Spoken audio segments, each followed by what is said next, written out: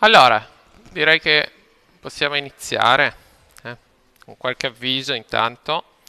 Eh, ok, qui registra, per cui... Allora, avviso numero uno, vi chiedo cortesemente se non l'avete ancora fatto, siamo verso la fine del corso, avete tempo fino alla fine del, eh, dell'erogazione degli insegnamenti, quindi mi sembra il 9, 9 giugno, no, sì, forse anche il 10, eh, 10 giugno, per cortesia compilate il questionario CPD di fine insegnamento, che è quello normale, eh, quello che avete su tutti i corsi, e quindi le domandine, lo so che è un po' noioso, ma serve per tutti i processi di qualità dell'Ateneo, per mille motivi. Eh. Se volete esprimere la vostra soddisfazione o insoddisfazione eh, riguardo a qualche aspetto del corso, potete farlo.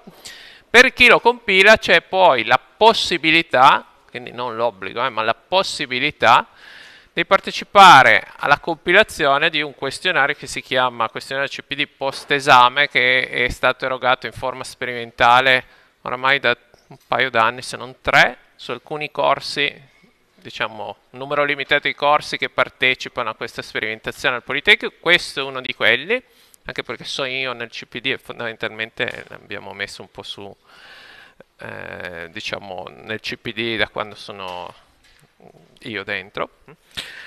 Eh, e eh, avrete la possibilità di compilare un questionario molto molto breve, eh, quindi sono nove domande solo a risposta chiusa, quindi non c'è da scrivere, non c'è nulla di particolare, solo pochi clic, che vi verrà proposto quando supererete l'esame di questo corso, nelle due settimane successive alla registrazione del voto. Quindi io chiudo il verbale, cosa che di solito faccio pochi giorni dopo che abbiamo finito tutti gli orali, vi arriverà una notifica, due notifiche, tre notifiche, un'email, insomma qualcosa, che vi dirà che avete questa possibilità. Mi raccomando, cercate di sfruttarla perché sta, questo questionario è stato introdotto non per volontà dei docenti, ma per volontà dei vostri rappresentanti degli studenti, eh, soprattutto in senato accademico, che ci tenevano ad avere questo meccanismo di monitoraggio. Se però poi si vede che nessuno lo compila, al momento siamo alla metà più o meno degli aventi diritto che lo compilano, chiaramente questa cosa poi verrà prima o poi eliminata o comunque ridimensionata e, è probabilmente uno strumento utile che è bene utilizzare, lo fate dopo che avete seguito il corso e superato l'esame, quindi non è che se siete insufficienti per qualche motivo, capita raramente in questo corso, però dovete compilarlo, eh, quindi avete già chiuso con questo corso per cui potete esprimere il vostro giudizio liberamente, tranquillamente, però lo potrà fare solo chi ha compilato il CPD di fine insegnamento, quindi che eh, eh, finisce che, che deve essere compilato entro il 9-10 giugno,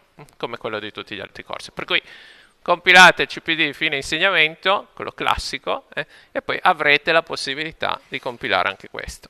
Ok, secondo avviso, questa è la pagina del corso, oggi siamo qui, martedì 30 maggio, è l'ultima lezione in quest'aula del corso. Ok, quindi oggi facciamo l'autenticazione, che è l'ultimo argomento importante questo corso. La prossima settimana, quindi martedì 6 giugno, salvo imprevisti, cataclismi e così via, cosa che ovviamente non ci auguriamo, non ci sarà lezione qui in aula. Mi vedrete ancora, oltre che giovedì per due slot, sem sempre salvo imprevisti, in laboratorio. Mi vedrete il giovedì successivo, l'8 giugno, in cui useremo il laboratorio per tre ore consecutive, tutti insieme, per svolgere, diciamo non svolgere, ma impostare almeno un tema d'esame d'esempio, eh, di cui poi vi fornirò una soluzione, diciamo così, completa. Eh. Eh, diciamo in maniera che possiate avere qualcosa di un po' più completo da cui trarre ispirazione e di una complessità un po' più elevata rispetto a quello che facciamo in aula, perché in aula abbiamo portato avanti un esempietto, ma diciamo un po' limitato dal punto di vista delle funzionalità, delle cose che sono integrate. Ci sono tutte, però diciamo un tema d'esame richiede un po' più di lavoro. No?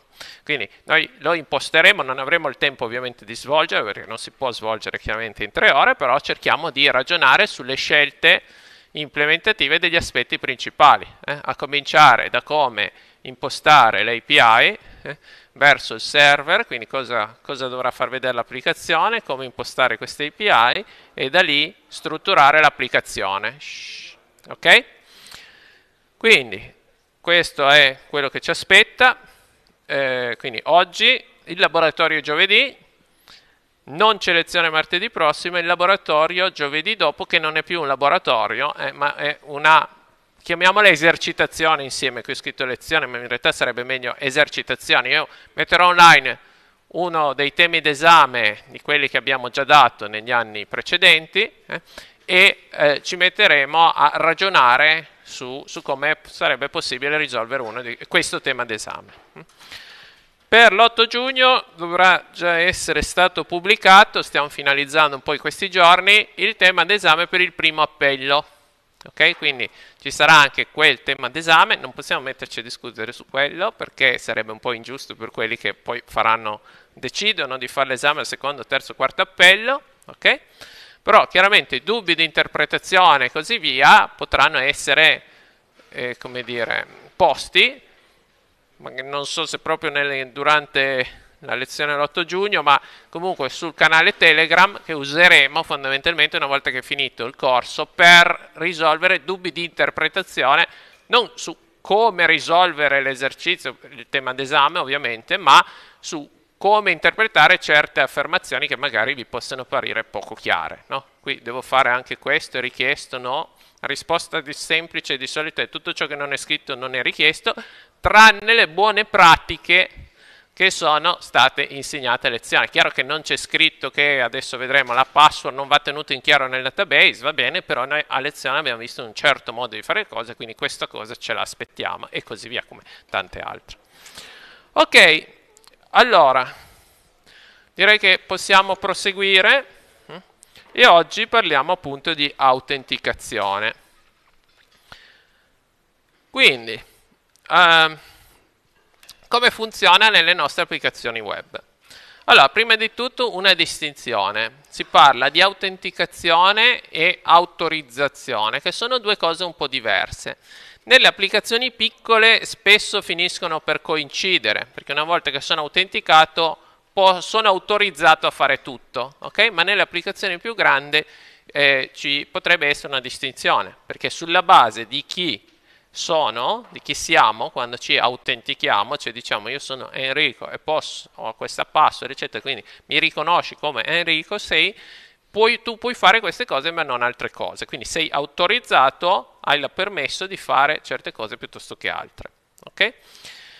Il processo di autenticazione è tipicamente fatto con delle credenziali, le più classiche eh, da, da, da, dall'inizio delle applicazioni web sono eh, utente e password e questi mi consentono di farmi riconoscere dall'applicazione web. Okay? E dicevamo, nelle applicazioni semplici molto spesso l'autorizzazione è diciamo, per tutto quello che può fare un utente autenticato, quindi cioè, può fare tutto sostanzialmente. Okay? E, in applicazioni magari un pochettino più complicate potrebbero esserci ruoli diversi, un ruolo di amministratore piuttosto che di utente normale autenticato e così via. No? Un po' come, che so, prendete eh, il sito del Politecnico, voi entrate sul portale della didattica, entrate come studente e potete fare certe cose. Io entro come docente, posso fare delle altre cose, non necessariamente in più perché non ho le stesse vostre viste, però io posso caricare il materiale didattico sulla pagina del corso, voi lo potete solo scaricare. Cioè ancora chi è nell'amministrazione può rivoluzionare le pagine, è cosa che io non posso fare e così via. Queste sono autorizzazioni. Okay? Però chiaramente stiamo parlando di una situazione un po' più complessa. Risolvere questo problema non è banale, è complicato, ci serve parecchio tempo, noi vi daremo una soluzione un po' preconfezionata sulla base delle buone pratiche diciamo, che eh, si usano in questo settore. Cercate di non inventare nulla da zero perché si finisce per sbagliare, è un campo molto complicato, un campo da, da esperti eh, e ogni tanto c'è anche da interagire con sistemi esterni. Per esempio, tutte le volte che arrivate su un'applicazione web e vi dice vuoi autenticarti con Facebook, Google, GitHub, non so, tutti questi meccanismi esterni, vuol dire che voi dovete interagire con un sistema esterno. Eh? Arriva sul Politecnico, vuoi usare lo speed per entrare? Sì, però c'è da interagire con un sistema esterno. Noi non interagiremo con sistemi esterni, ve lo anticipo già, hm? per, per semplicità abbiamo meno di tre ore e, e dobbiamo risolvere tutto il nostro problema. Eh, la questione dell'autenticazione e autorizzazione coinvolge sia il client sia il server, perché il client, dopo che abbiamo fatto il processo di autenticazione, deve ricordarsi di continuare a dire chi siamo, no? e vedremo in che forma. E il server deve riconoscerci per quelli che siamo, andare a recuperare cosa possiamo fare e consentirci o no di fare queste cose. Quindi cerchiamo di eh, ad, ehm, basarci su tutte le buone pratiche che vedremo oggi o in generale se dovete uscire da questo ambito perché non lo so volete fare login con terze parti e così via studiate bene quali sono le buone pratiche usate quelle non discostatevi da quelle perché è un campo veramente difficile in cui è molto facile sbagliare. Eh, beh questo diciamo è un po' un, riassunto di tutti i meccanismi di autorizzazione, però ve lo lascerei come lettura. Eh. Eh, noi andiamo a vedere come, come, mm, risolvere il nostro problema nella pratica e come sempre poi nella seconda parte della mattina andiamo ad applicarlo nel nostro, eh, nella nostra applicazione di esempio. Allora, prima di tutto saprete già che noi usiamo il protocollo HTTP e questo protocollo è stateless, cioè senza stato cioè ogni richiesta di risorsa va per conto suo. Che io faccio una get, faccio una post, put, delete, ogni richiesta a sé stante il server mi dà una risposta sulla base di quello che io ho messo nella richiesta. Quindi il metodo, l'URL e il body e i vari header che metto nella richiesta. Per esempio noi abbiamo già messo un header che è content type application JSON per dire il formato dei dati che mandiamo nel body. Posso mettere tanti altri header, vedrete che ne metteremo uno in particolare che ci servirà a farci riconoscere come utenti eh, autenticati. Eh, ecco, allora, come facciamo nel momento in cui abbiamo bisogno di farci riconoscere come utenti autenticati a dire questa cosa al server, cioè a dire al server che abbiamo già fatto delle operazioni in precedenza e quindi deve riconoscerci come utenti autenticati. Non è che possiamo ad ogni richiesta includere username e password che il server deve ogni volta verificare. No? Lo sapete come funziona il meccanismo, c'è questo meccanismo delle sessioni che usiamo tutti, tutti i momenti, no? quando stiamo usando un'applicazione web, normalmente che ci chiede username e password, che non sia una semplice pagina di visualizzazione come accedo alle provvisioni nel tempo, boh, ho visto il risultato senza autenticazione finito. Però nel momento in cui ho bisogno dei miei dati, dell'esperienza personalizzata per me utente, devo mettere username e password, dopodiché eh, l'applicazione non me li richiede più. No? E quindi come fa a tenere insieme queste richieste successive che io farò per consultare la mia email, per consultare il carrello della spesa, piuttosto che eh, le prenotazioni che sto facendo e così via? Eh, è necessario che ci sia una cosiddetta sessione, cioè un legame tra una richiesta eh, e la successiva, la successiva per far capire al server che tutte provengono dallo stesso utente autenticato. Okay? Quindi è necessario che teniamo delle informazioni tra le differenti interazioni col server, tra le varie richieste. Okay? Quindi una sessione di fatto è, eh, diciamo, eh, sono dei dati eh, che sono scambiati tra eh, diciamo, eh, due dispositivi, di solito il client dove gira il nostro browser e il server eh, delle API, al quale facciamo accesso per avere informazioni o immagazzinare informazioni, e, ehm, e ci serve a tenere traccia anche dello stato nel quale si trova l'applicazione. Okay? A un certo punto viene creata questa sessione, tipicamente dopo che ho messo username e password, il server crea questa sessione, e viene mantenuta fino a quando non chiudo tutto e quindi perdo le informazioni relative a quella sessione, ne dovrò creare di nuove se voglio un'altra sessione, perché il browser le mantiene ma le mantiene nella memoria temporanea, quindi se chiudo il browser perdo la sessione, o fino a quando non dico esplicitamente di chiudere la sessione, quindi col bottone tipico dell'applicazione logout, esci e così via. Okay? Quindi questa è la sessione. Eh, questa sessione è in genere, anzi diciamo tutte le sessioni sono identificate da un identificativo di sessione, questo session ID, che è il più semplice meccanismo che possiamo pensare per mantenere eh, una sessione attiva. Quando creiamo la sessione, quindi dopo che avremo fatto l'autenticazione, eh, il client riceverà un identificativo di sessione generato dal server, creato dal server in qualche maniera, dettaglio a noi in questo momento non interessa, anche se vedremo qualcosa ma non ci interessa tanto, c'è questo identificativo di sessione, unico per noi, per la nostra sessione, che non può essere indovinato da altri, perché se fosse indovinabile, quindi eh, fosse conosciuto da altri, altri potrebbero impersonare noi nella nostra sessione. E questa informazione consentirà al server, ogni volta che riceverà delle richieste che contengono anche questo identificativo di sessione, di riconoscerci come quegli utenti autenticati con quel username e password, quindi come quel certo utente che può fare tutta una serie di cose o non fare una serie di cose.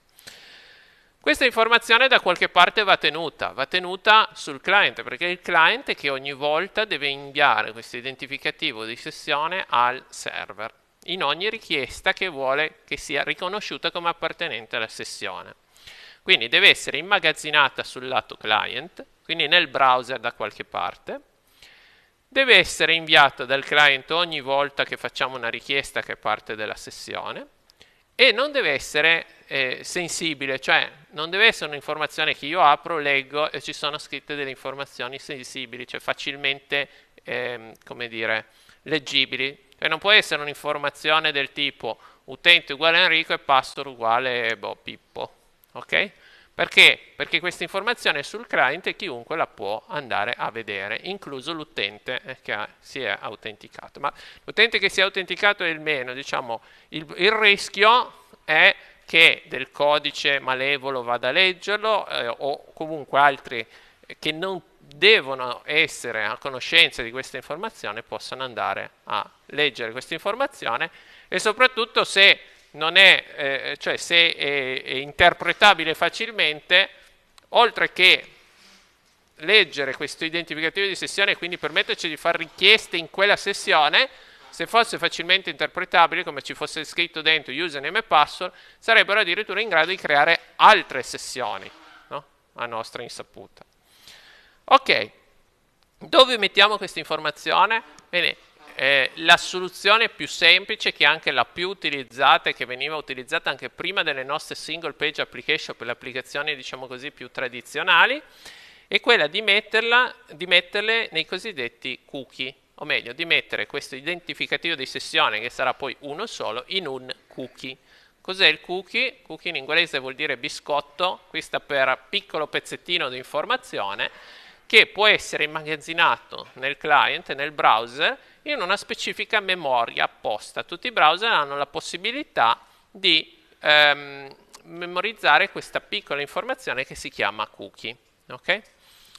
Um, quindi il cookie è un pezzettino di informazione che sta nello storage dei cookie del browser, che viene gestita in maniera del tutto automatica dai browser, fin dalle versioni più vecchie, insomma sono 20 e più anni o anche di più che i browser sono in grado di gestire i cookie e i cookie hanno questa politica di gestione da parte di tutti i browser, ossia vengono spediti automaticamente dal browser al server quando si fanno delle richieste allo stesso dominio e percorso e ci sono poi una serie di opzioni per fare in modo che possano essere spediti in altri casi e così via. Quindi, che so, io vado su www.polito.it, www.polito.it slash, quindi path principale, percorso principale, mi imposta un cookie, quindi mi dà un cookie, il browser se lo ricorda e tutte le volte che farà delle richieste a www.polito.it barra o barra qualcosa, che sono dei, delle sottoparti dello stesso sito, automaticamente invierà il cookie. Andate su didattica.polito.it, che forse è più interessante, vi autenticate, il server vi dà un cookie e voi, cioè il browser automaticamente, tutte le volte che farete delle richieste a didattica.it, invierà automaticamente negli header della richiesta HTTP il cookie. Okay? Quindi il server tutte le volte che riceverà le richieste HTTP vedrà questo cookie e sarà in grado di associare la vostra richiesta alla, vo alla sessione che avete attivato con username e password. Okay? Mi raccomando, come dicevamo prima, informazione sensibile non deve essere mai immagazzinata in, nel cookie. No, è chiaro che il cookie di per sé è un'informazione sensibile, nel senso che qualsiasi valore abbia un identificativo di sessione che se, se voi ne venite a conoscenza, se la sessione è attiva, potete usarla per impersonare qualcuno che sta facendo richieste su quella sessione. Questo è un problema di per sé. Ma non deve contenere, come dicevo prima, informazione, diciamo così, facilmente interpretabile, come se fosse una username, una password e così via, perché quello sarebbe ancora peggio e vi consentirebbe di creare anche altre sessioni a piacimento di chi ne viene a conoscenza. Ok, alcuni attributi eh, quindi eh, valori di, di, proprietà dei cookie che vengono tipicamente impostati dal server. No? I cookie su questo pezzettino di informazione sono stati standardizzati eh, e ehm, hanno una serie di proprietà che è bene conoscere. Come sempre noi vediamo solo quelle che ci interessano di più, ma qui sono abbastanza esaustive diciamo, per, per l'uso che se ne fa. I cookie hanno un nome, i cookie hanno un valore, e poi altri attributi. Cominciamo dal nome e il valore. Allora, il cookie ha un nome perché io devo poter distinguere tra diversi cookie. No? Quindi lo stesso sito potrebbe impostarmi più cookie differenti. Okay? Perché per qualche motivo potrebbe aver, voler eh, boh, creare anche più sessioni, va bene, ma ipotizziamo che ci sia una sola sessione, ma i cookie non servono solo per le sessioni, servono anche a memorizzare piccoli pezzi di informazione sul client. No? Quindi è bene poter fare in modo che ci possano essere più cookie per il singolo sito e singolo percorso, per cui hanno un nome. Hanno ovviamente un valore, che è questo valore, diciamo così, che eh, viene impostato per esempio per l'identificativo di sessione dal server, che non deve essere facilmente interpretabile. Okay. E poi hanno una serie di altri attributi. Per esempio, eh, se secure, che è booleano, se è impostato, quando viene creato il cookie, quindi quando il server dice di creare un cookie, è solo un server che può dire a un browser di creare un cookie inviandoglielo e in, dicendo quali sono gli attributi associati a questo cookie. Se impostato l'attributo secure, questo cookie verrà inviato solo su sessioni, cioè scusate, solo su richiesta HTTP sicure, cioè cifrate, sulle HTTPS, eh, che non sono poi nient'altro che richieste HTTP che transitano su un protocollo sicuro, l'ultimo il TLS, eh, che sostanzialmente prevede cifratura della comunicazione, per cui chi guarda sulla rete i dati che transitano non è in grado di decifrarli senza la chiave della comunicazione, che è una cosa diversa dal cookie. Eh. La chiave di comunicazione viene stabilita a un livello differente, a livello 4, eh, sotto il TCP. Ehm, quindi quando voi siete su un sito HTTPS eh, e, e volete che il cookie non venga mai inviato dal browser su una connessione HTTP, quindi non cifrata, dovete impostare questo attributo. Noi non lo faremo per nostra comodità, perché gestire l'HTTPS richiede certificato, il certificato poi deve essere firmato da una Certification Authority, se no vi viene fuori il warning sul browser e così via. In un'applicazione reale quasi sempre dovrete usare dei cookie con questo attributo impostato. Okay?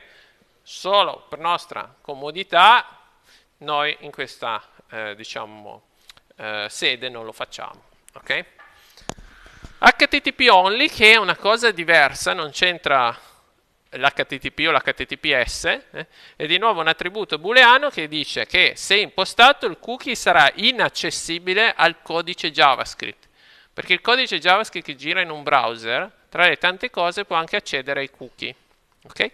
Ma se noi impostiamo questo flag, questo attributo booleano, diciamo al browser di, fare, di fare in modo che il codice JavaScript non possa accedere a questo cookie che è la cosa migliore perché noi non sappiamo mai che codice JavaScript può girare sul browser, oltre al nostro. Il nostro ovviamente lo conosciamo e va bene, però se abbiamo tirato dentro una libreria di qualcun altro, no? pensate alla libreria Bootstrap che ha un po' di JavaScript, qualcun altro usa il jQuery, non in questo corso, ma insomma è pieno di altre librerie, o anche le librerie che importiamo dai vari pacchetti, dai, dai JS piuttosto che, cos'è che usavamo sul client ancora?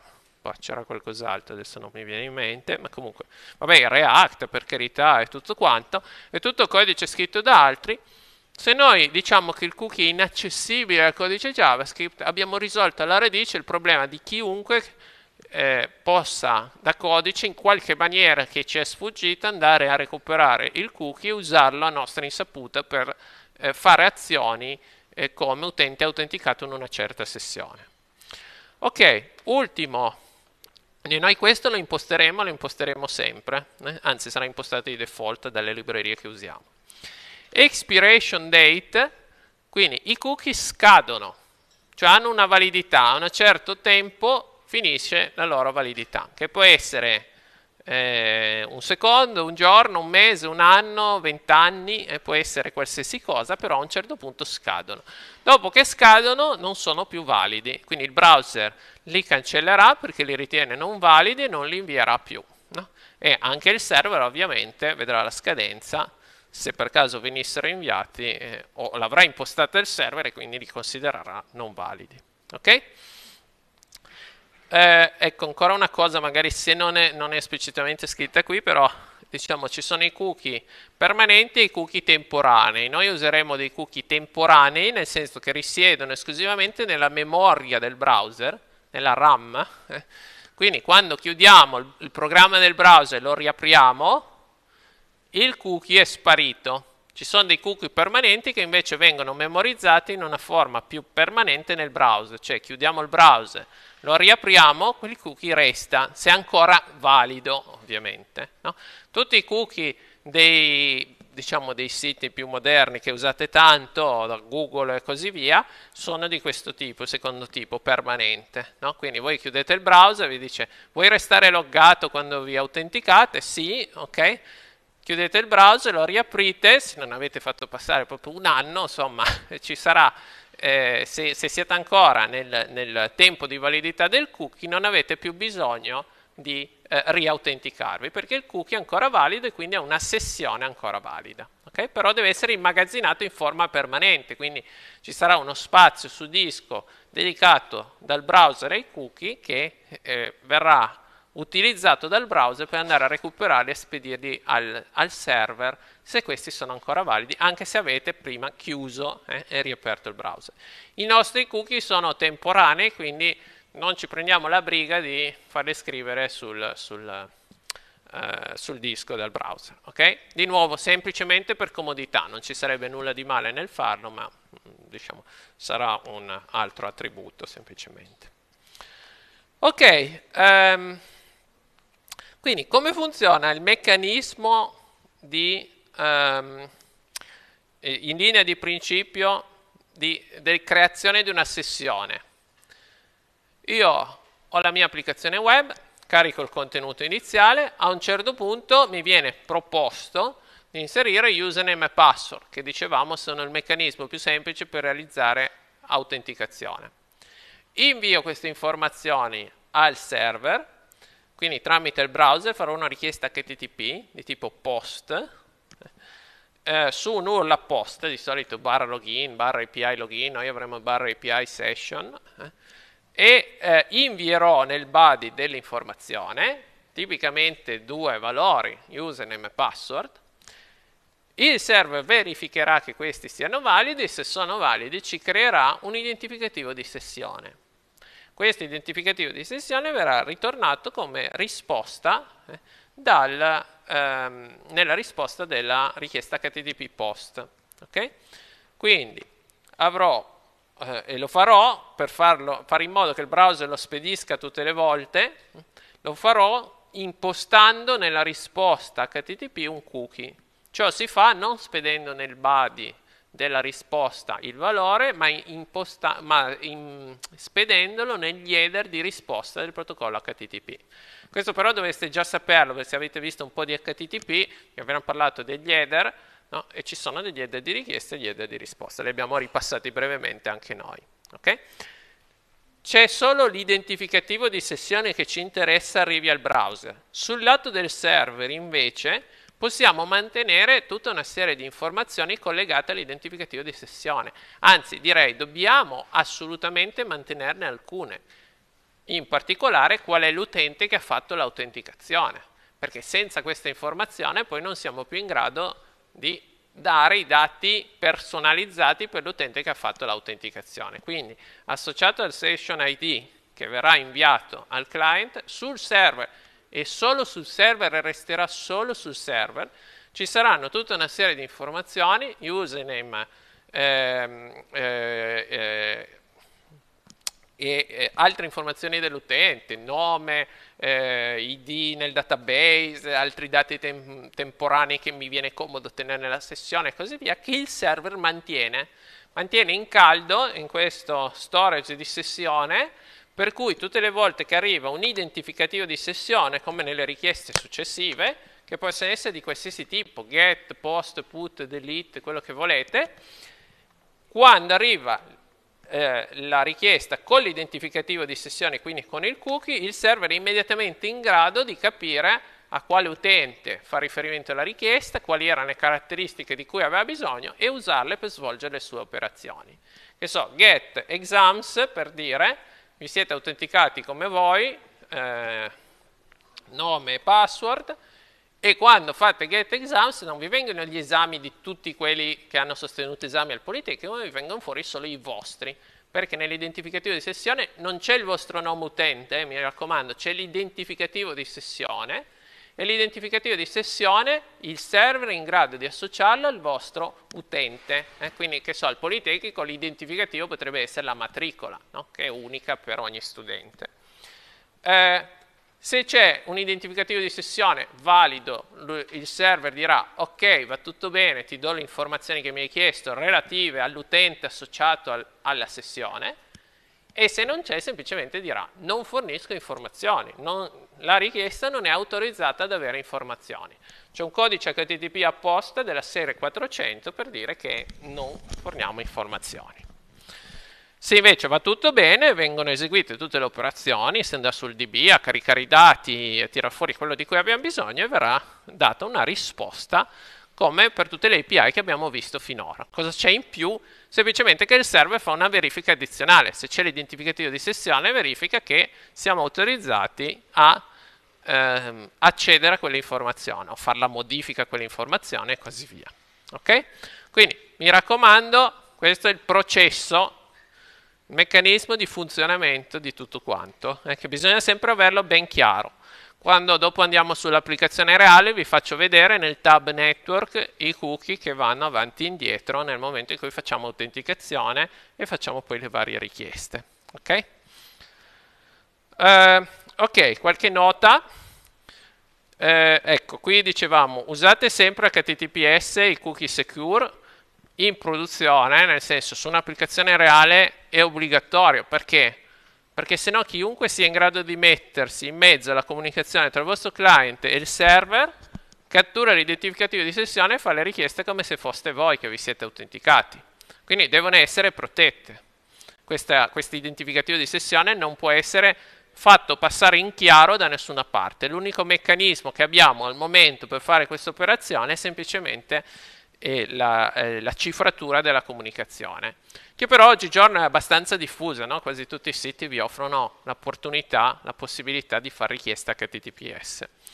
Noi, solo per nostra comodità, anche perché tanto lavoriamo su localhost e così via, non abbiamo questa necessità eh, e non lo faremo, ok? Anzi, non lo facciamo perché l'HTTPS ci complica, come vi dicevo prima, per questioni di certificati e così via, che poi diciamo, i browser se non sono, se no non andate a spendere i soldi per comprare un certificato vero per un sito che poi non può stare su localhost ma deve avere un dominio vero, eccetera, eccetera, diciamo, eh, protesta subito, eh, guarda che non va bene, è un sito non sicuro, eccetera, eccetera, eccetera, e quindi ci crea solo complicazione, per cui la evitiamo alla radice. Ok, però in uno scenario reale sempre HTTPS.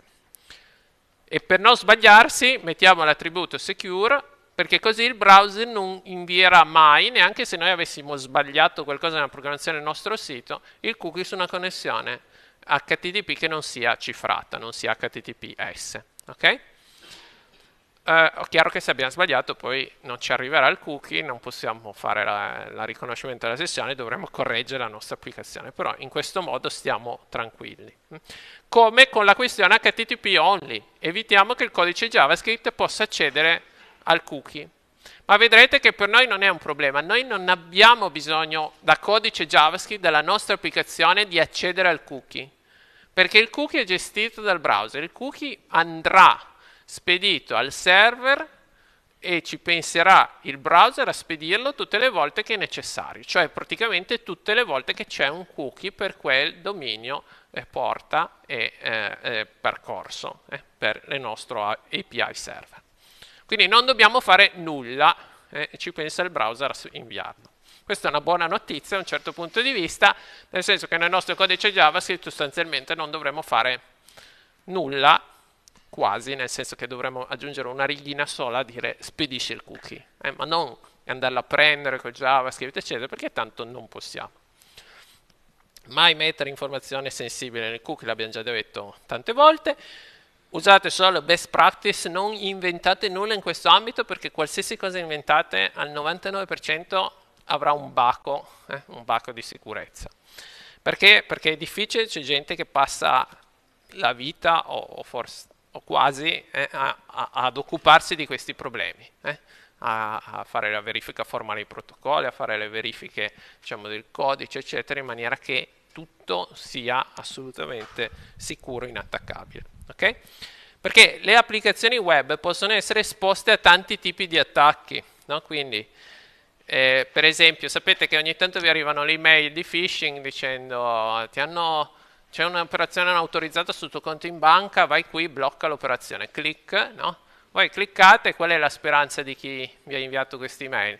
E che voi abbiate la sessione con la banca aperta, no? cliccate lì, quel link vi porta alla vostra banca e nel link c'è scritto che so, post, fai operazione, trasferisci questo, questi soldi a, no? Ma questo è solo per fare un esempio, no? Può essere qualsiasi cosa, perché la banca sveglia sempre un po' tutti, perché quando si parla di soldi si svegliano tutti, però può essere qualsiasi cosa, cancella l'email, toglimi il voto, aumentami il voto, eh, non lo so, può essere qualsiasi cosa, ok?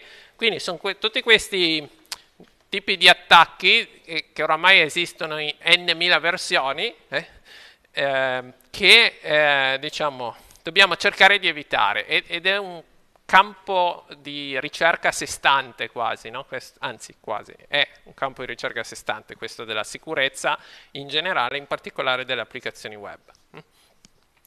Um, ok, um, un altro modo in cui si possono creare dei problemi è caricando del codice JavaScript a nostra insaputa che gira all'interno delle nostre pagine web della nostra applicazione. No? Per questo noi vogliamo il cookie HTTP only, per esempio. Se noi però stiamo sulle soluzioni ben collaudate, ben testate, senza deviare dalle buone pratiche, siamo ragionevolmente tranquilli che tutto funzioni. Ok? Uh, va bene. Quindi, nella pratica dobbiamo venire alla nostra applicazione. Abbiamo fatto una lunga premessa e adesso ci caliamo nella nostra applicazione. Quindi React, useremo l'applicazione React, usiamo un modulo che si chiama Passport che ci consente di implementare tutto ciò che, di cui abbiamo parlato. No? Quindi, allora, prima di tutto noi dobbiamo realizzare un form quindi oggi creeremo un form, quindi una nuova pagina, una nuova root. Praticamente tutti i vostri progetti d'esame dovranno avere una root barra login o qualcosa di questo tipo. Cioè non è strettamente indispensabile usare le root, ma diciamo che è una comodità così forte, no? come avete visto in laboratorio, per cui ecco, l'esempio classico di una root apposta è la login, no? perché lì si fa un'operazione ben chiara, ben definita, non c'è bisogno di avere altro contenuto, un form, username password, un bottone eh, invia, autenticati eh? e poi se volete un secondo bottone di cortesia, cancella, non voglio più stare su quella pagina, torna indietro, insomma quello che volete. Però un form in cui noi inseriamo username e password e poi possiamo inviare al server. Quindi l'utente riempie un form, quindi sarà un form di tipo controlled perché noi lo facciamo in React, quindi tutti i form noi li faremo in quella maniera.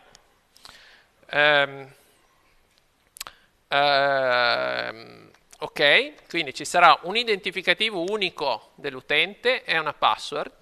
Cosa può essere l'identificativo unico dell'utente? Qualsiasi cosa che sia unico. Eh? Va molto di moda l'email perché? Perché l'email si ritiene sia unica, ma anche il numero di telefono, no? cellulare, di solito è un altro di questi identificativi che si ritiene siano unici e così via. Qualcuno deve garantirne l'unicità, ok? Perché se no non siamo in grado di distinguere utenti diversi, ma questo è abbastanza scontato. Eh? Ma non è indispensabile che sia un'email. Eh? È comodo, è molto comodo perché di solito l'email è unica, perché è personale e il server, un server di email non dà la stessa email a due utenti differenti, però non è assolutamente indispensabile. Per entrare nel conto in banca di solito non avete un'email, avete un numero, no? un numerino, un qualche cosa che magari avete anche personalizzato, ma che è solo vostro e non è di un altro utente. E poi ovviamente una password che è ciò che va mantenuto segreto. Um, i dati sono validati sul lato del server, quindi lato del server il server verifica che l'utente e la password coincidano con quelli impostati per quell'utente e se va tutto bene, no scusate, qui eravamo ancora sul client, vabbè i dati sono validati nel senso se dovevo inserire un'email qualcuno va, a vedere che ci sia la chiocciolina, ma perché? Perché se tanto non mando qualcosa con la chiocciolina il server non lo validerà mai, eh? ma, ma questa è una cortesia, no? Cioè evito che il campo passo sia vuoto, evito che il campo username sia vuoto, se mando un form vuoto, che, che, che autenticazione vuoi che succeda? Ok. Niente, è inviato con una post, mi raccomando sempre solo post, ma qui non avete niente da scegliere, prenderete il codice che vedremo oggi, lo portate nella vostra applicazione e avete finito. Ve lo guardate, guardate come funziona, però fondamentalmente non c'è da toccare nulla. Ok, punto 3, che è quello che stavo dicendo prima, il server riceve la richiesta e controlla se l'utente è registrato e se la password è corretta. Ok? E per fare questa operazione non immagazziniamo in chiaro la password nel server, su questo ci torniamo. Quindi nel database, se voi aprite il database, non ci troverete la password in chiaro. Okay? Sarà una colonna password, ma non ci mettiamo la password, ma ci mettiamo un hash della password. Adesso vediamo poi cos'è questo hash. Se le due cose non fanno match, si, se, si manda indietro una risposta al client che dice eh, username o password errati. Mi raccomando, questa è la buona pratica. La cattiva pratica sono tutte le altre. L'utente non esiste. L'utente non esiste non è una bella risposta, perché poi anche non conoscendo la password riprovando e riprovando, quando mi dice l'utente, non mi dice più l'utente non esiste, ho indovinato un nome utente e questo non è bene, ok? E così via, no? Oppure password errata implicando che l'utente sia giusto, ok? Perché se sbaglio l'utente mi dice username e password errata, no? No, l'unica risposta corretta in questo caso è utente o password errati, come vi dice la vostra banca, no? credenziali non corrette, punto e basta, ok? Generico. Ovviamente io lato server lo so se l'utente esiste o no, ma non devo dirlo, ok? Anche se la password è sbagliata. Ok, perché? Perché fa parte di queste buone pratiche di sicurezza. Allora, ipotizziamo che andiamo avanti, quindi username e password sono corretti, fanno match con quello che c'è lato server nel database e quindi l'utente è autenticato. Allora il server genera un ID di sessione. Come fa a generarlo? E ci sono moltissimi metodi, lasciamo fare al server. Per noi è un identificativo casuale, okay? un numero a caso, ovviamente abbastanza grande da non poter essere indovinato, no? 1, 2, 3, 4, 5 e questo identificativo verrà memorizzato dal server associato alla sessione che ha autenticato l'utente con quel username. Ok? così che quando ricevo quell'identificativo di sessione, questo session ID, sono in grado lato server di sapere che corrisponde a quell'utente. E ho l'ID dell'utente, comunque un'informazione unica di quell'utente che posso usare per andare a ritrovare le sue informazioni nel database, no? facendo le query where utente uguale eh, l'ID che ho nella sessione. Okay? Non la session ID, ma l'ID dell'utente associato a quel session ID. Okay? Uh, quindi in qualche maniera viene creato questo session ID, poi possiamo sempre entrare in più dettagli, però in questo momento è inutile. Cioè il server tramite il framework che usiamo magicamente crea un identificatore di sessione unico, associato, eh, casuale, associato al nostro utente autenticato. Il server dà una risposta alla richiesta post eh, HTTP fatta col form di login e manda un cookie no? con scritto un nome, non so, sarà session ID, non so adesso co cosa scrive passport, al suo nome, eh, uguale il valore quello che ha generato. Okay? Con gli attributi HTTP only true, quindi solo HTTP inaccessibile al codice JavaScript, e secure true se lo voglio su HTTPS, cosa che noi, come detto, non faremo, ma in generale è bene fare. E poi un'eventuale scadenza se ritenete di metterla. Eh? Ehm, noi non la mettiamo perché? perché abbiamo questi cookie temporanei, quando chiudiamo il browser vanno via. Okay? Ma solo, sempre nell'ottica di semplificare perché abbiamo un corso da 6 crediti e non da 12. Il browser riceve la risposta col cookie. Il cookie dov'è? Il cookie è negli header di risposta del protocollo HTTP. Lo vediamo dopo. Eh? Eh, e questo cookie viene gestito interamente dal browser. Noi non dobbiamo scrivere una riga di codice. Il browser legge gli header di risposta HTTP, vede scritto set cookie, prende il valore e lo mette nella sua memoria dei cookie. Tutte le volte che facciamo accesso allo stesso sito, quindi nel nostro caso localhost 3001 che è il server dell'API invierà il cookie nella richiesta come cookie due punti negli header HTTP di richiesta che sia get, post, put, delete e così via fino a quando, fino a quando o non viene eliminato dal server quindi ci manda un header che ti dice cancella il cookie oppure scade ok uh, e poi la risposta quindi una post può avere una risposta può avere un body di risposta HTTP Boh, e questo si gestisce come abbiamo fatto finora nelle applicazioni web, prendiamo il body di risposta, lo usiamo e ne facciamo quello che riteniamo opportuno. No? Possono esserci per esempio le informazioni dell'utente, posso mandare indietro oltre che, che so, lo username, eh, che so, il nome, il cognome, eccetera. Benvenuto Enrico, no? ma la mia email era pippo.test.com.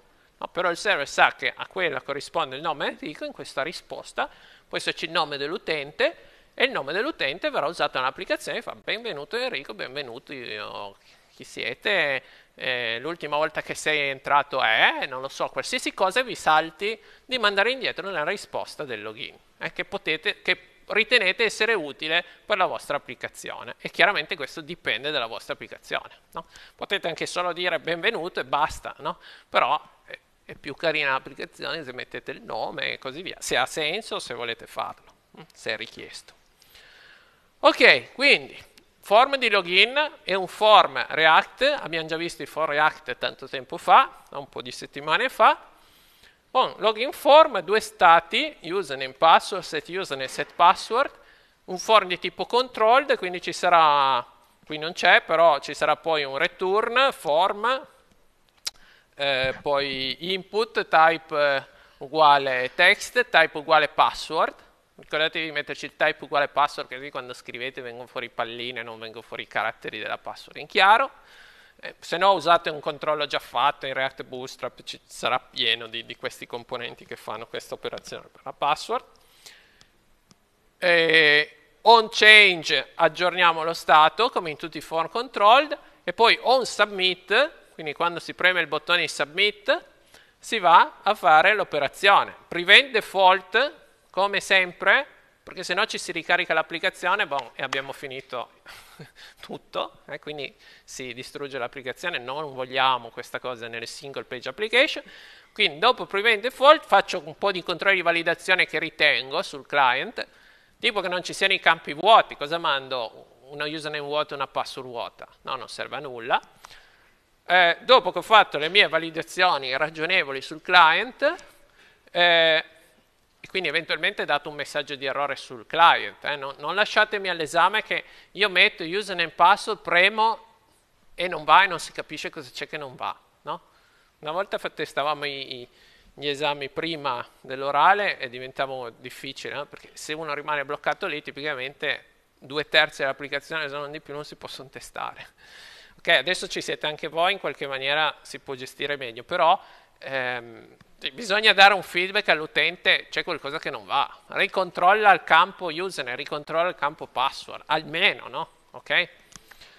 Eh, poi, user login callback, va bene, qui ci sarà qualcuno che poi va a fare una fetch col metodo post dell'URL non so, API session noi lo facciamo, ma login diciamo in generale sul server, a fare tutte le operazioni che dicevamo prima, inviando nel body username e password, infatti li passo come parametri. Eh?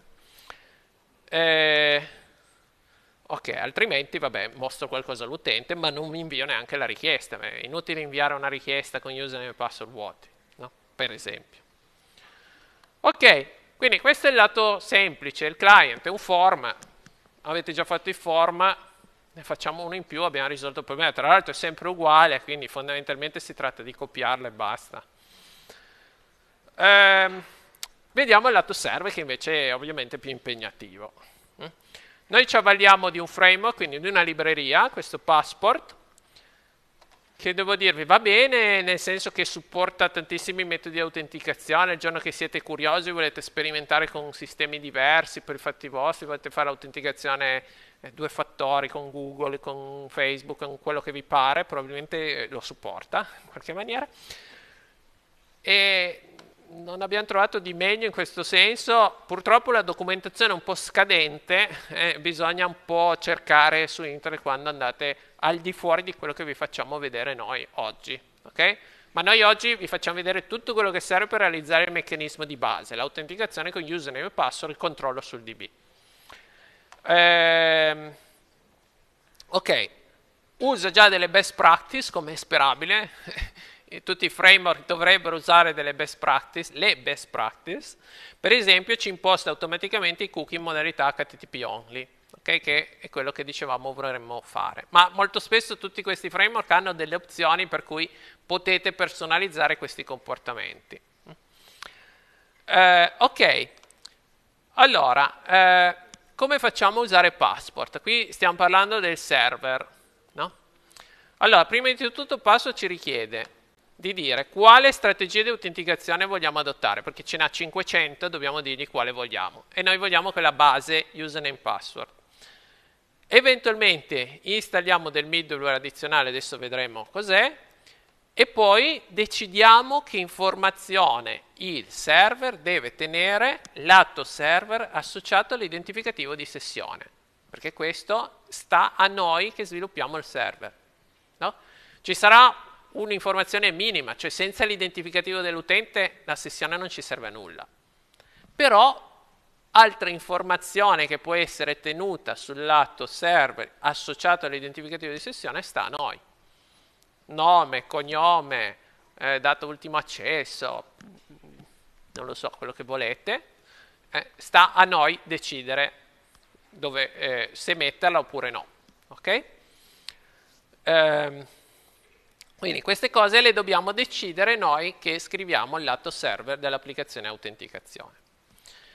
Allora, eh, punto numero uno, noi usiamo quella che viene chiamata local strategy. Eh? Si deve installare, è un modulino addizionale sempre di passport, quindi prima installiamo passport, poi installiamo passport local, che sostanzialmente è quella che implementa l'autenticazione con username e password, no? quella che serve a noi. Mm, dobbiamo for, eh, dire a passport di usare la local strategy passando una callback che dentro farà l'operazione di andare a verificare se lo username e password ricevuti sono validi oppure no, perché sta a noi fare questa operazione.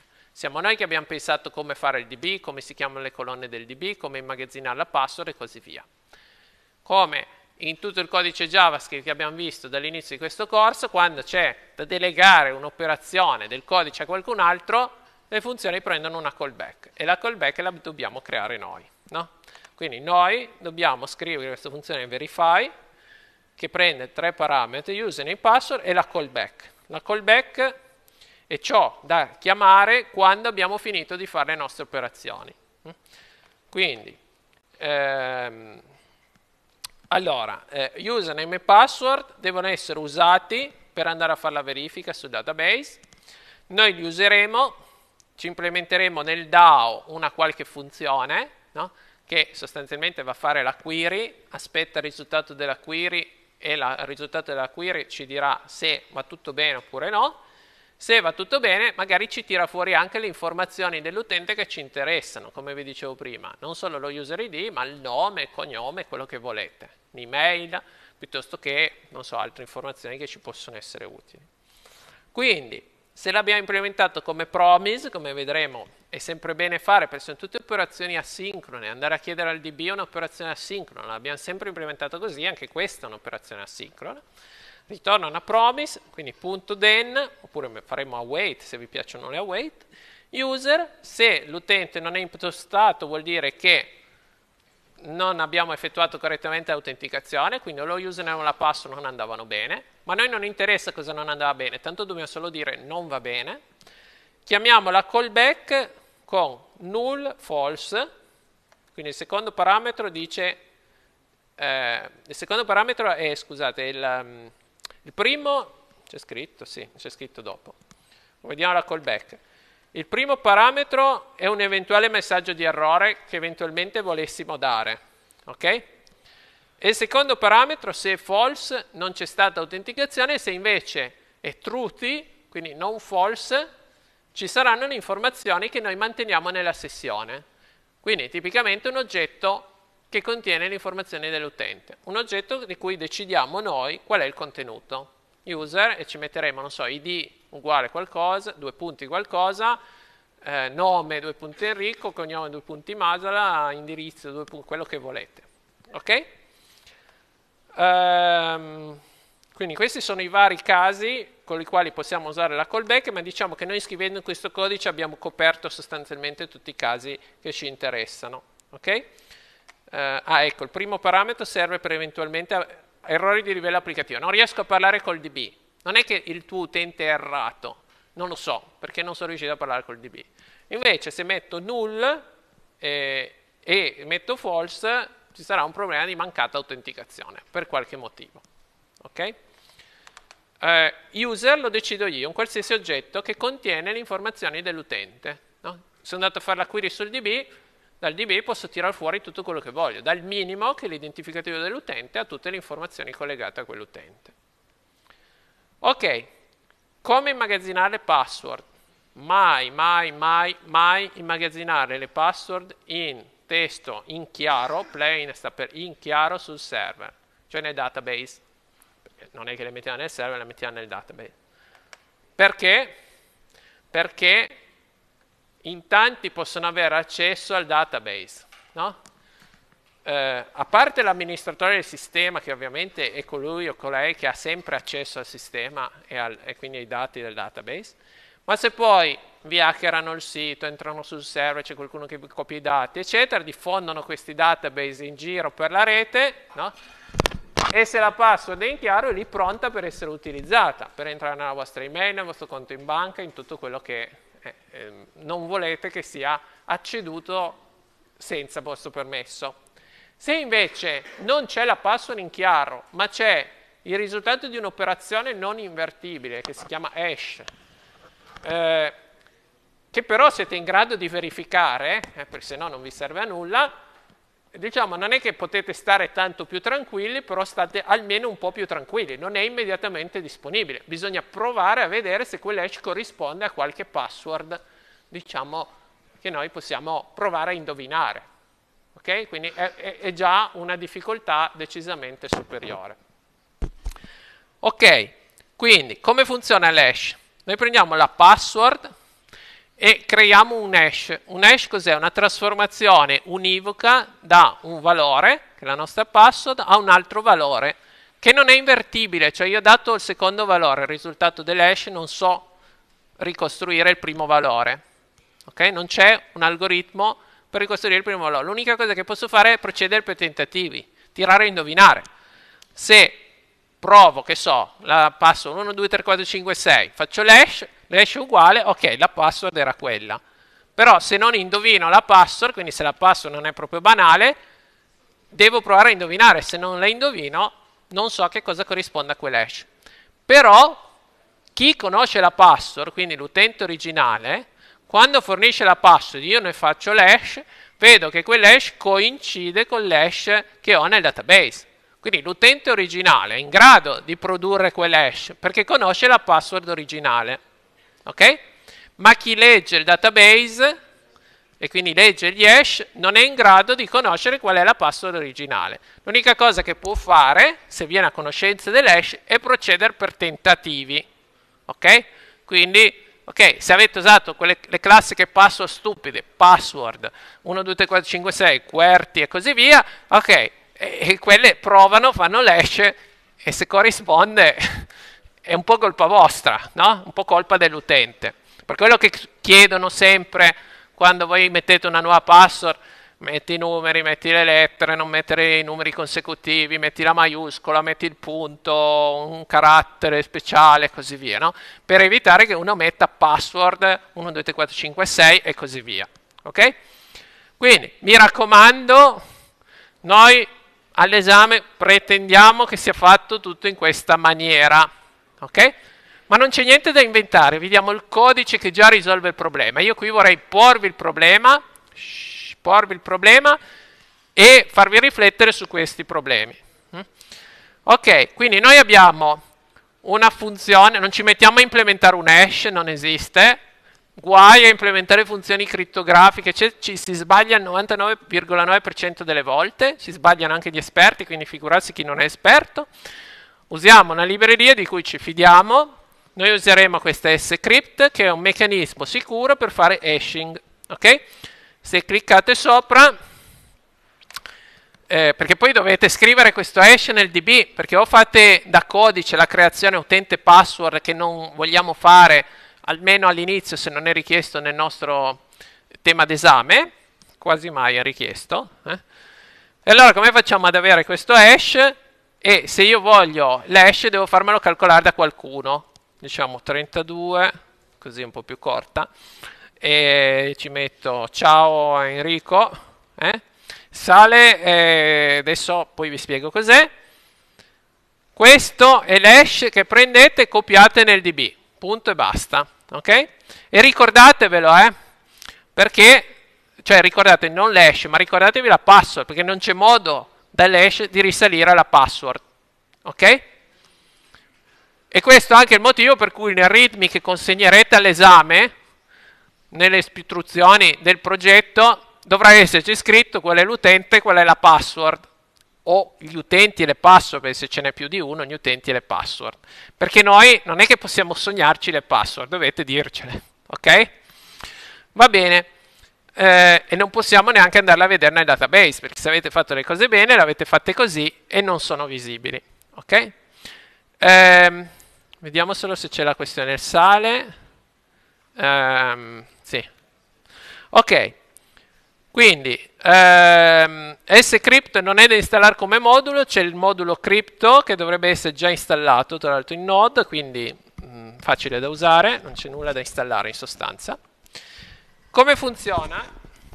Allora abbiamo una funzione per creare ehm, la l'hash che però noi non usiamo direttamente, ok? Lo faremo nel momento del login quando ci arriva la password in chiaro dall'utente, dal form. Ci arriva la password in chiaro, noi ne facciamo l'hash per verificare se è uguale all'hash di quella del DB.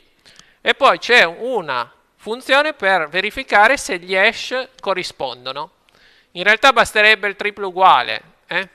però per una questione di sicurezza si usa una funzione apposta che eh, diciamo eh, diciamo così, che ci mette un tempo casuale a verificare se le, le due password coincidono o no, eh? perché ci sono attacchi anche che si basano sul tempo nell'ambito della, della, della, della, crittografia e de, della sicurezza, per cui eh, noi usiamo semplicemente le funzioni che ci vengono date, punto, basta. Ok? Eh, cos'è il sale?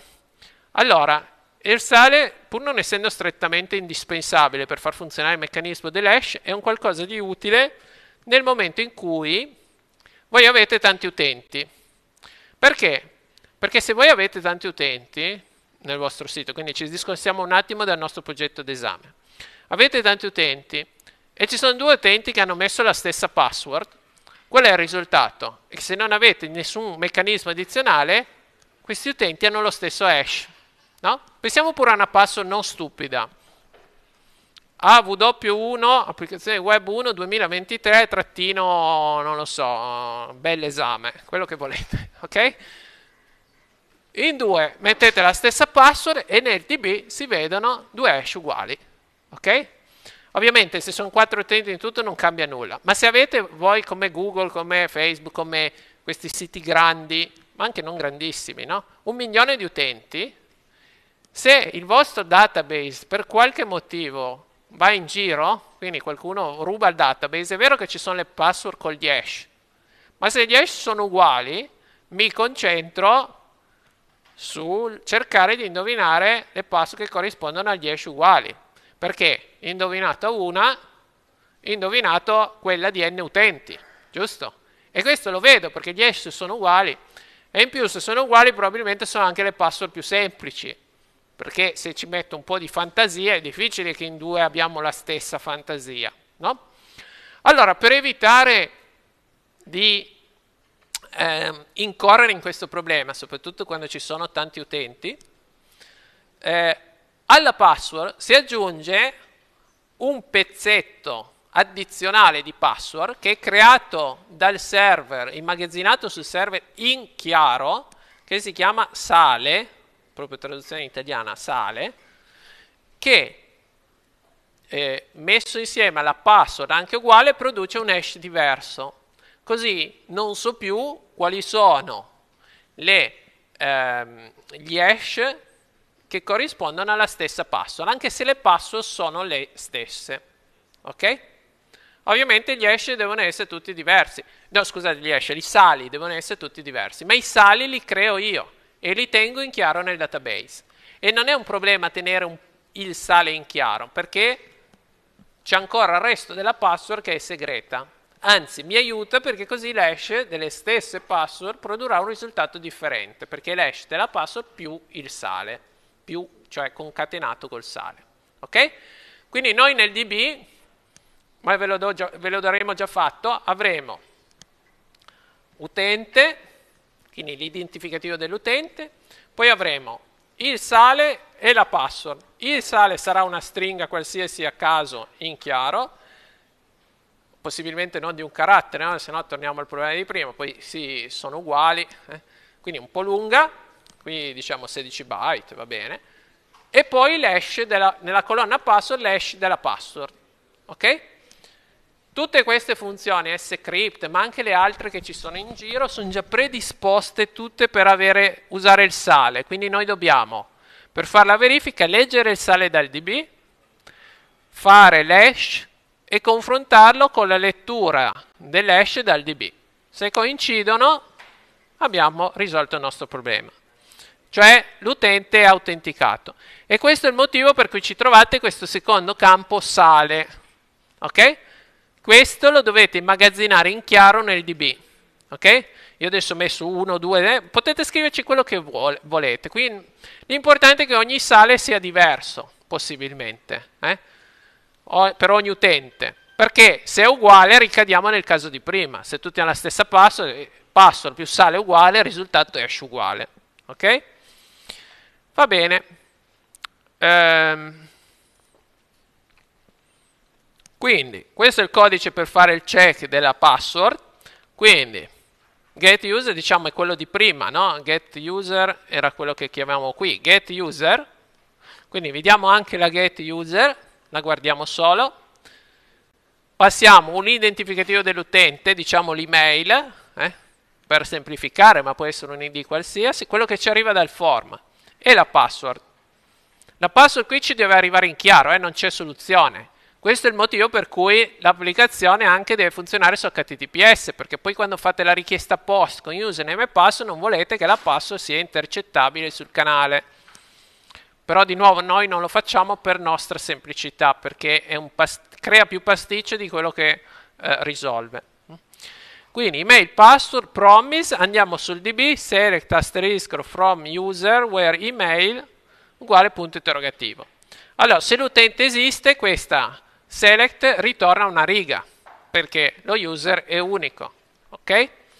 Quindi facciamo dbget, potevamo fare dbrun e prendere la prima, però facciamo pure dbget, quindi prendiamo una sola. E, ehm, se la riga c'è, quindi arriviamo all'else, quindi non c'è tutti gli errori e compagnia, user id, row id, username, row email. Ok? Sale, row sale, row salt. Quindi abbiamo estratto dal db tre colonne. Eh, id, eh, username, che è l'email, ok? Che quindi deve coincidere con quella che abbiamo chiesto, ovviamente, se c'è. Quindi se row è undefined vuol dire che la riga non c'era, ho finito. Um, sale e poi faccio, prendo la password col sale che ho estratto dal db, gli dico che io avevo le password da 32 byte, va bene, e mi faccio ritornare la password, hashed password. Eh. Tutte queste funzioni sono asincrone, per cui devo passare una callback che mi verrà richiamata quando, hanno finito, quando questa scrypt ha finito di fare il calcolo e mi darà la, hash, la hashed password come parametro. Io la hash password la confronto con raw password trasformata in ex, eh, perché così vuole la libreria, con quel timing safe equal, se tutto va bene faccio resolve user user che è l'oggetto che contiene tutto ciò che interessa a me dell'utente.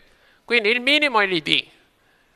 Se però voglio anche l'email, se voglio il nome, potevo avere row name, row surname, row tutto quello che volete. Okay? Tutto ciò che voi avete messo nella tabella user che ritenete sia utile alla vostra applicazione. Lato server e poi ricordatevi che c'è ancora il body da mandare indietro all'applicazione client. Quindi in questo momento potete tirar fuori entrambe le cose, ciò che sarà, servirà sul server e ciò che servirà anche sul client. Perché poi dobbiamo, una volta che abbiamo risolto la promise con resolve user, questo user lo prendiamo, lo facciamo diventare un JSON, lo mandiamo al client. Perché così se vuoi scrivermi benvenuto Enrico, questo Enrico è venuto fuori da qualche parte, eh?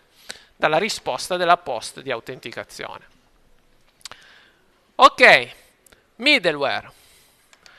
Eh, allora, ci servono le sessioni. Ci siamo scordati delle sessioni, abbiamo fatto la prima parte.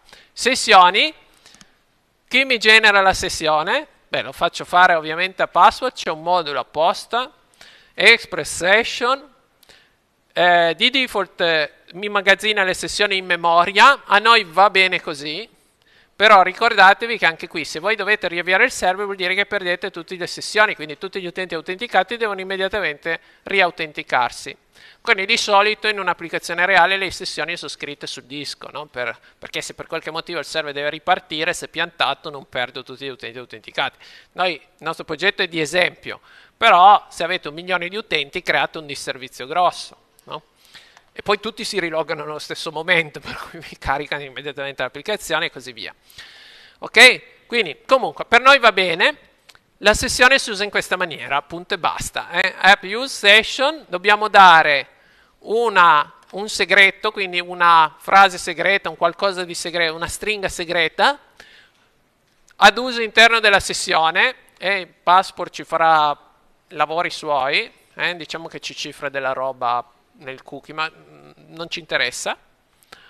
E gli altri parametri vanno bene questi di default e noi poi semplicemente diciamo ad app, app vi ricordo è il server Express, come facevamo use course, use Morgan per fare il login, eh, eccetera, facciamo use passport authenticate session e gli diciamo di usare questo meccanismo delle sessioni quando richiesto, cioè fondamentalmente di mettere il set cookie, di ricevere il cookie, di vedere se c'è il cookie e così via, quando è necessario.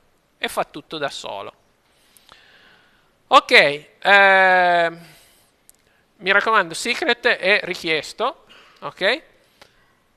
Per l'esame ovviamente lo consegnerete insieme al vostro progetto, se no non funziona nulla in generale questo genere di cose non vanno messe col commit sul sistema di versioning, ok? Quindi quando siete a lavorare veramente in un'azienda da qualche parte, ovviamente non è che le, le, stringhe segrete ne fate il commit a qualche parte. Infatti nelle, nelle aziende che lavorano per bene, questi, queste cose vengono tenute da parte, da un'altra parte separata dal sistema di versioning, quindi dal Git e così via, e vengono aggiunte quando si crea l'applicazione per metterla in produzione, in maniera che non è che chiunque va a farsi un giro sul Git per vedere come funziona il codice si legge il segreto che viene usato effettivamente in produzione nell'applicazione, no? perché poi può andare a decifrare delle cose che non abbiamo piacere che vengano decifrate. Comunque, per il progetto questa cosa non fa niente, la mettiamo ovviamente sul Git col meccanismo che servirà per consegnare il progetto, perché se no non funziona nulla ok? Basta saperlo, ok? Usiamo questi parametri e, e bon, eh? con l'esempio di prima non c'è niente da pensare di particolare qui. Ecco, terzo, dobbiamo decidere cosa far stare nella sessione lato server. Nella sessione lato server, per decidere cosa far stare, dobbiamo scrivere due funzioni che sono le callback che passiamo a serialize user e deserialize user quando usiamo passport. Ok? Serialize user cosa fa? Prende l'utente che è stato autenticato e me lo trasforma in un qualcosa che verrà messo in una forma o nell'altra associato meglio, diciamo così, associato all'identificativo di sessione. Ok? Però questo è un dettaglio interno di Passport, Passport Session, anzi, anzi ex, era Express Session, scusa, ah, Express Session, perdono. Ehm, il deserialize prenderà l'identificativo di sessione tramite la nostra callback, dovrà essere in grado di tirar fuori l'utente. Okay? Noi vediamo queste funzioni già fatte, avete solo da usarle o da personalizzarle se volete aggiungere altre informazioni oltre l'id di, di ehm, dell'utente. Okay? Quindi nella serialize user noi prendiamo le informazioni dell'utente, anche solo un sottoinsieme, e decidiamo che quelle verranno in qualche maniera inserite nell'identificativo di sessione. Non in chiaro, ma cifrate, in maniera che non siano interpretabili da chi vede l'identificativo di sessione. Ehm, boh, cosa ne fa Passport lasciamo pure stare. C'è un meccanismo per fare l'inverso, cioè quando arriva l'identificativo di sessione io devo essere in grado di tirar fuori l'id dell'utente, eh, che corrisponde a quell'identificativo di sessione, e poi prenderlo e andare su database a ricavare le informazioni associate a quell'utente. Okay? Ecco, questa è la cosa importante, quelle informazioni mi verranno messe a disposizione in rec.user. Rec è la richiesta, ricordate per le root abbiamo rec, res, res è la risposta, rec è la richiesta, avevamo rec body per il body, rec query per le query, rec params per i parametri, una volta che abbiamo le sessioni abbiamo rec.user, L'hanno chiamato user perché di solito lo user è il nome di default che è stato messo eh, diciamo da quelli che la, hanno implementato le sessioni. Ok? Quindi se voi dovete conoscere quali sono le informazioni dell'utente associate a quella sessione, dovete andare a cercare rec.user se la richiesta viene con un cookie, perché se la richiesta viene senza cookie ovviamente questa informazione non c'è perché la richiesta non è autenticata. Ok? Eh, dunque, vediamo un po'. Allora, vediamo solo di concludere il discorso fino a... Ecco qui. Eh, allora, dopo che abbiamo messo a posto tutto ciò, ma c'è già il codice sul GitHub. Eh? Questa mattina io questo l'ho già messo, perché è un po' macchinoso e poi soprattutto rimane uguale, quindi è inutile che stiamo lì per esempio a scrivere codice che poi rimane uguale identico a quello che userete anche nel vostro progetto d'esame. Eh, una volta che abbiamo messo su tutto possiamo fare l'operazione, no? L'operazione di eh, autenticazione come funziona? Funziona che nella root post del login o sesh come faremo noi, dobbiamo chiamare passport e dire di fare questa operazione di autenticazione. Come si fa? Queste root hanno la possibilità di inserire parametri aggiuntivi. Questa Express ci consente di inserire parametri aggiuntivi, quelli che abbiamo chiamato middleware quando abbiamo parlato di Express. E uno di questi parametri è chiamare passport per verificare se la richiesta è autenticata, in questo caso per autenticare la richiesta e creare la sessione, perché qui siamo nella login. Ok? Quindi in realtà la faccenda è semplice, no? password authenticate local e qui abbiamo risolto il nostro problema e cercherà questa richiesta in rec body un campo username e un campo password, quindi dobbiamo solo avere l'accortezza lato client di mandare un JSON con un campo che si chiama username e un campo password e non un campo a caso, eh? user, pass o quello che ci sogniamo, perché questa va poi a cercare quei due nomi lì. Ok, con la risposta al login, se tutto va bene, ci sarà dell'informazione poi eh, va bene eh, disponibile nel browser perché noi abbiamo fatto res JSON,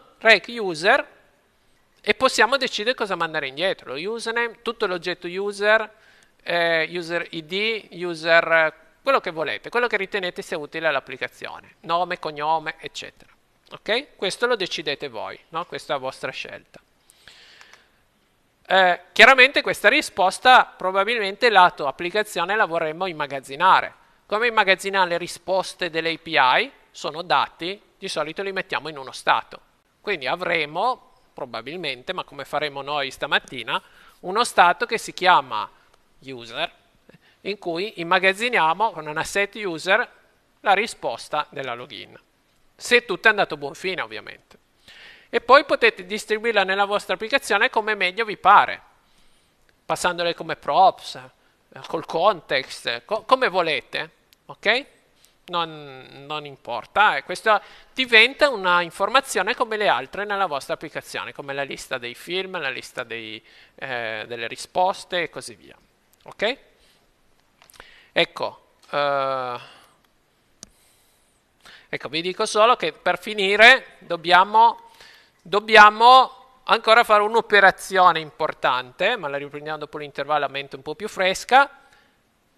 Le API eh, che vanno eh, usate solo se c'è l'autenticazione vanno protette. Quindi se noi che so abbiamo la get della lista dei film e voi potete vedere solo la lista dei film se siete autenticati, quindi vedete sempre solo la lista dei vostri film, quella get non potrà rispondere a chiunque ci faccia una richiesta get, ma dovrà verificare se c'è stata autenticazione oppure no.